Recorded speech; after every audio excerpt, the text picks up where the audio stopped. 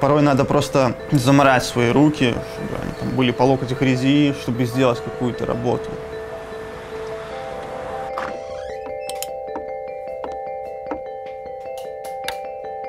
Здравствуйте, меня зовут Святослав, мне 24 года, и я занимаюсь скульптурой.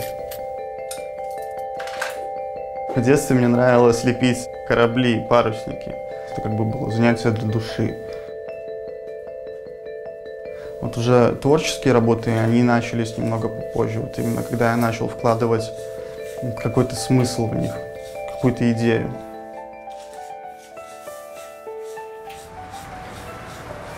Мой типичный день – это там, подъем в 7-8 утра, в мастерской где-то часов в 10, ну и начинается работа над скульптурой.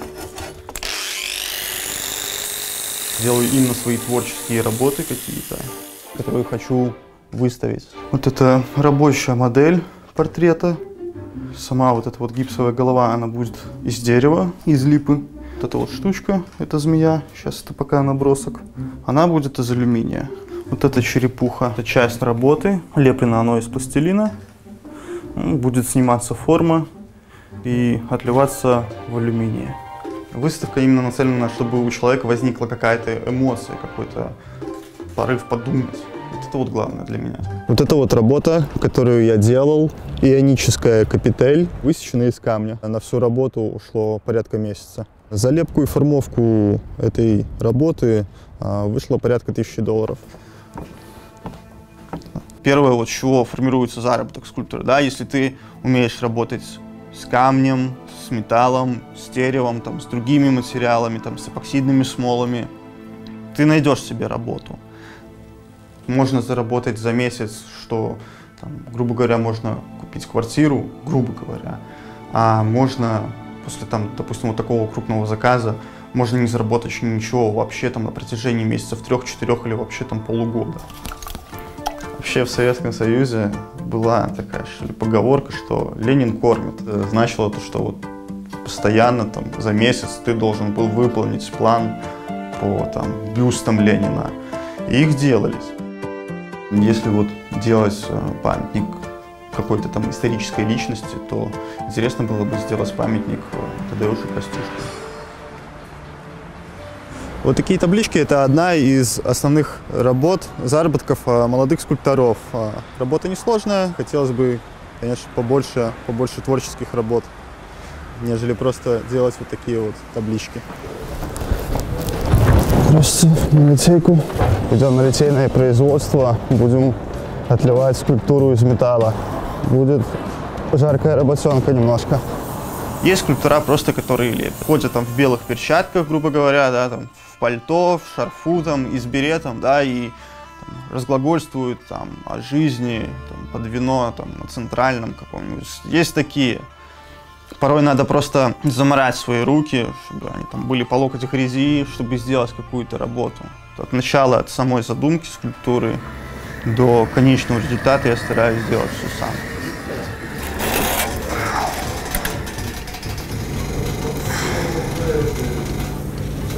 Здесь у нас череп, здесь у нас хребет. Надо подождать минут 20-30 и будем доставать.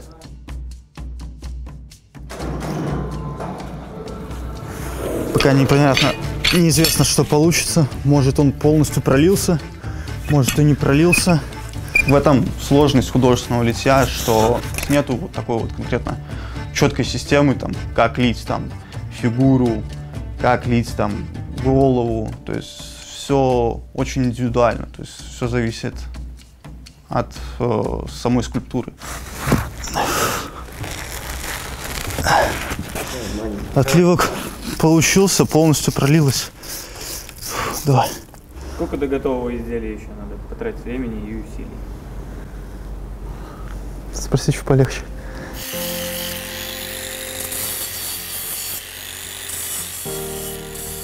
скульптура, говорю, это, это тяжелый труд, это пыльный труд, грязный труд и дурно пахнущий труд.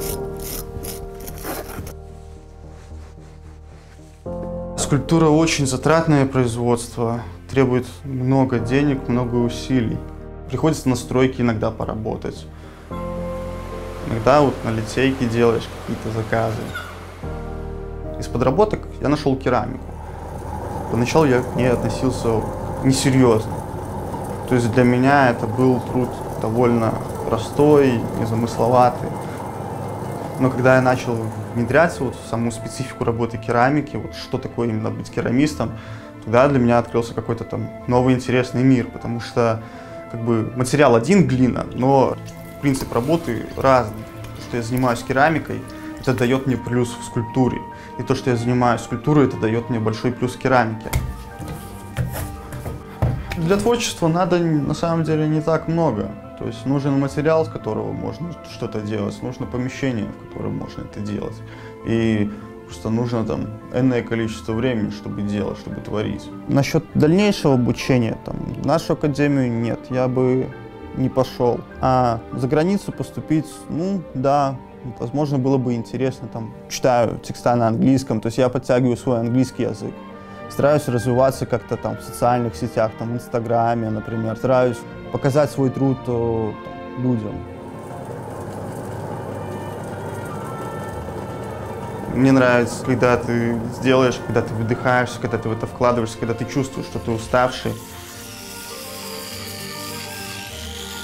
По итогу ты видишь результат своего труда, понимаешь, сколько ты вложил, когда тебе этот результат нравится, когда ты уже достиг, тогда вот получаешь действительно вот моральное такое удовольствие, приятно становится очень. Вот поэтому, наверное, и скульптура, потому что требует сил, требует усилий.